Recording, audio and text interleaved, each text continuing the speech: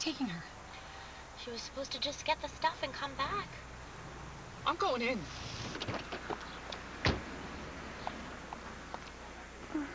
Rev, what's keeping you? Oh.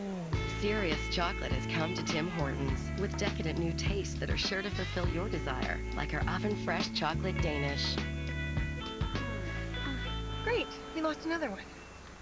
I'm, I'm going in. in.